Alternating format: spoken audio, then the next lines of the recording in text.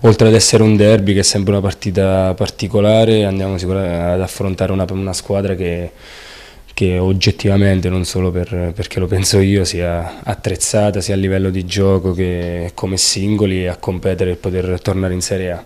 Quindi è un banco di prova importante per noi e dobbiamo comunque eh, pensare che misurarci con, con, queste realtà ci darà convinzione e la, e la realtà veramente del campionato che stiamo facendo. Hai rischiato di giocarla con la maglia del Pescara questa partita perché sappiamo che è stato forte il corteggiamento di Massimo Oddo.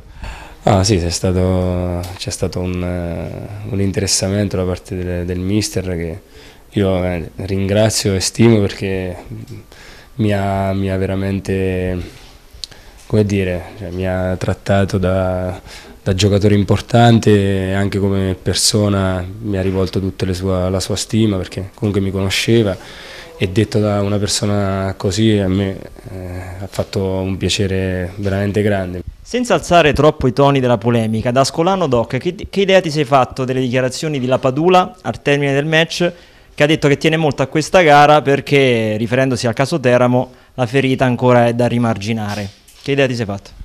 Ma io poi non, non lo sapevo perché non seguo molto quindi non, eh, situazioni del genere, però no, io non,